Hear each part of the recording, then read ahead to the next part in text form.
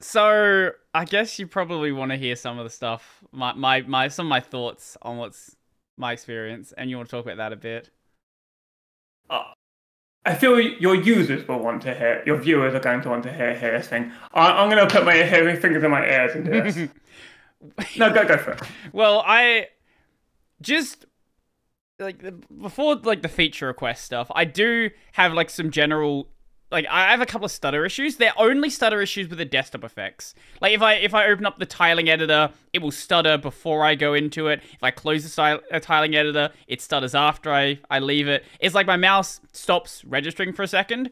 And same with things like opening up like the overview and things like that. Like there's a stutter before and a stutter after.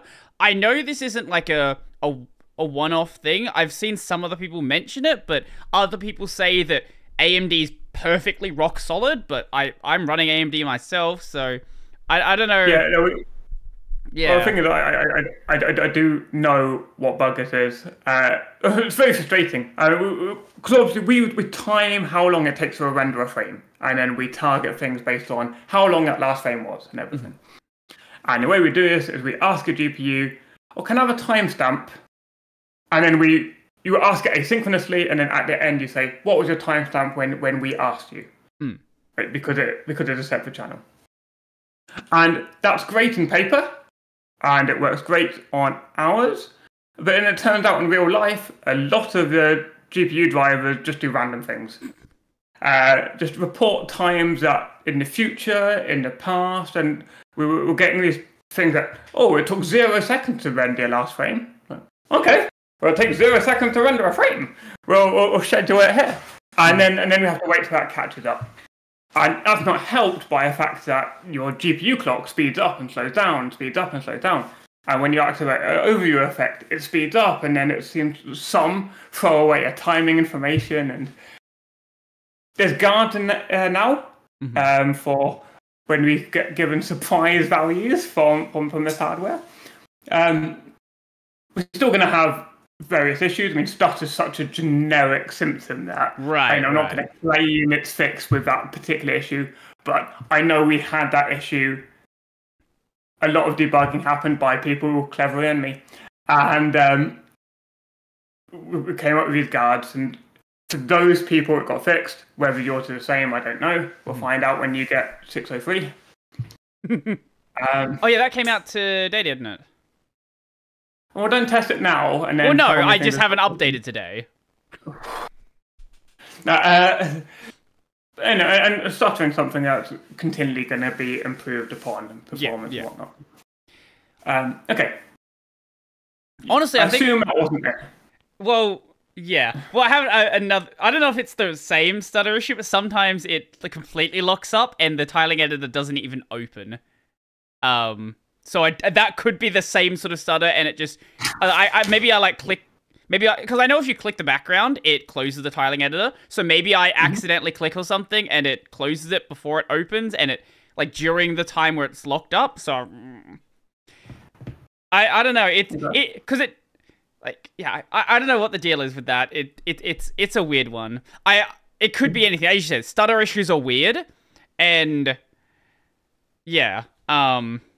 But that's like it's like a it doesn't happen consistently. It's like once every like 20 or 30 times I do it. So it's uh, I, don't, I don't Computers know. are weird, right? They You'd are very expect, weird. You do the same same thing, you get the same result. I mean, that's what logic tells you, what the math tells you. That's what. Mm. No, it's not what happens.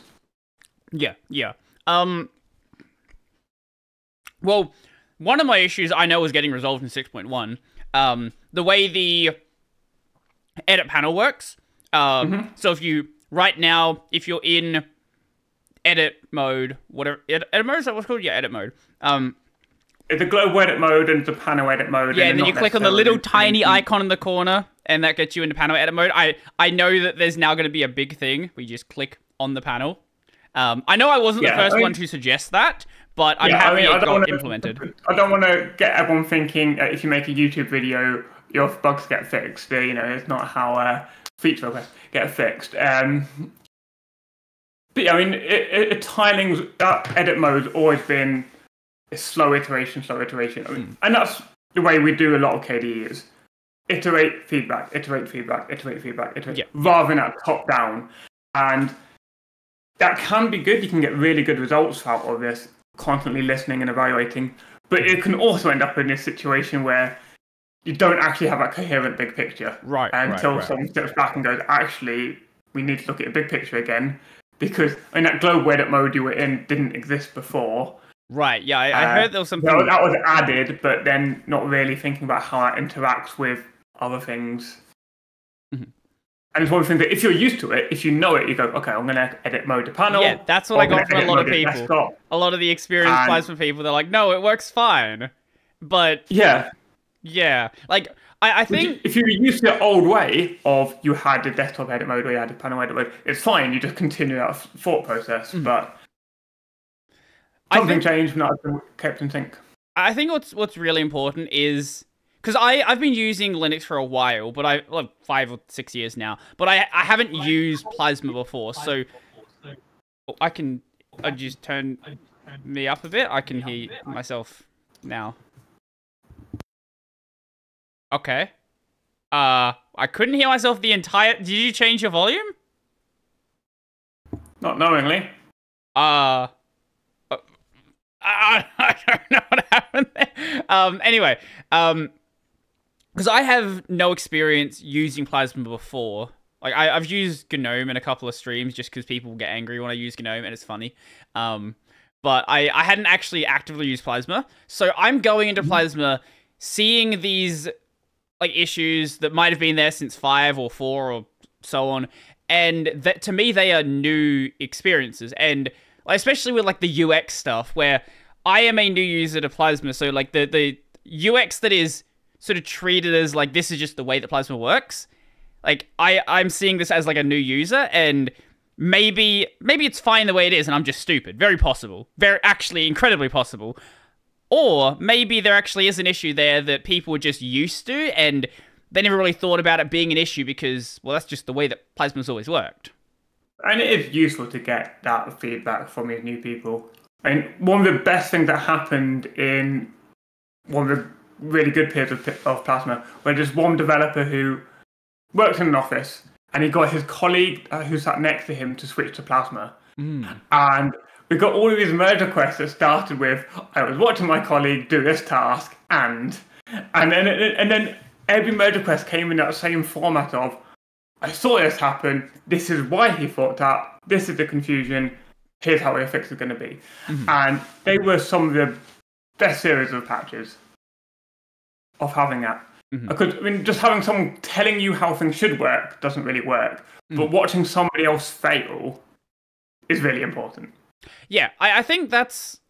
I, I hope that's what people can get out of the videos that I'm doing. Like, I know it can come across like I'm. I, some people see it as like me demanding changes. Like, that's not the way it is. Like, I would like changes to be made. Like, absolutely. I would like it to work the way that I would like it to work. But I also understand that, like, you know, someone has to implement it. And I like to say things kind of straight to the point. And I, I'm not going to be like, oh, well, uh, you know, dance around what I'm trying to say for five minutes before I say anything. Like, I'm going to say exactly what I'm trying to say, and like, especially in, in like the tiling case, because there there's a lot of things I would like. I already brought up the quick tiling stuff before, but that's just just one of the things. Um, I would also like, uh, you know, how there's like the load layout button. It would also be nice if there was like a way to save uh, your current layout. If you install Plasma SDK. Um, but yes, it's, It's it's just- in a way. Yeah. Okay. So it. Well, I I, I think. I you- mean, that's, that's me going with the developer mode of, oh, it is if you do this and this and this. yeah. No. I, I think But- you also brought. that doesn't that doesn't help. Right? I mean, I- that was good feedback of you couldn't see how to do it. I think you brought up. It might have been you, or it might have been someone else who said in one of my, on, like one of my comments. Maybe, maybe it was someone else. I don't know. Someone brought up the fact that you can save existing panels and like put them into like. There's like a way you can like. There's like a file or a JavaScript file or something you write. engine. Yeah, yeah. But there's no like. Yeah, easy it's code user-facing in, in your themes, right? That's how we uh, started some of this. Mm, but like, there's no specific user-facing save button. It's like there's a developer way to do it, and you can write Yeah, plugins yeah. and stuff. Like, obviously, there's plugin Yeah, you can do, so there's a way to do it. But there's no like save like that. I believe Plasma SDK which is a whole set of tools of dumping ground, uh, a set of tools for people doing uh, third-party add-ons. Mm-mm. That has a button where you I can, see. in the look and feel editor, you can say save my current layout, so that you can then pop it to somebody else. Mm. If you do that with metadata packaging of saying, well, here's Right, attached previews and here's my name and email address and whatnot. Right, I, I, I, I'm not surprised But, it's, yeah, it's not, it's not what you're asking for. So, but it, it's not like so it doesn't solve your case, right? Mm-mm. But um, yeah, I that's what I hope people get out of what I'm, I'm doing. Just like I am someone new to Plasma. Here are some things I think would be cool that I think would make it better. If someone wants to work on them, that's cool. If they don't, that's fine. But like a lot of the time, the things I'm bringing up also that maybe it's things people haven't thought of, or maybe they someone thought of like ten years ago and they forgot about it and it just never got implemented. So it, it, it I like to open up like sort of a a discussion amongst like the community because you know there's a lot of people who have ideas, but they see the Plasma issue tracker and they're like, I have no idea where to go. I know it's better than it used to be, but the, the Plasma issue tracker is like I. So I I wanted to add a a um wish list for like quick tiling, like the thing regarding um quick tiling keys should interact with the tiling editor. So I, I went to the Plasma bug tracker, then I went to the Plasma section, and then I went to KWin, then I went to quick tiling, and then I it like there's just so many a Quinn section rather than Kwin. whatever. well, I, I initially searched for the plasma section, but there was no pla- like there's no like or plasma desktop section. Sorry, so yeah. plasma desktop isn't a, a section there. It's, it's another section. Um, that the, the the plasma bug tracker. I think that the problem with the plasma bug tracker is just the fact that there are so many things under the plasma banner. I don't know how you can make it easier to work with. It there's just too much there, so it's Yeah, yeah. it's yeah. naturally gonna be a nightmare. There's a lot of stuff. Um, I mean, there was a forum as well for Right. that less intense uh, I guess this is why a lot of people just discussion forum. A lot of people will just like report things on the Reddit because they just don't know how to use the, the bugs. Yeah, we, it's frustrating because that's also uh, something. Someone who's not used Plasma will go see your social media if that's full of people saying this should work this way. It's not great. Mhm. Uh, so, so I don't want to fix things just because they're on social media. sure. Just out of spite. Because I am very petty. But um, but yeah, I mean, I've got no objection to you doing your videos. I mean, when Linus from Linus Tech Tips did it, um, there was more follow up. So if you're on the same level, Mhm. uh, you can.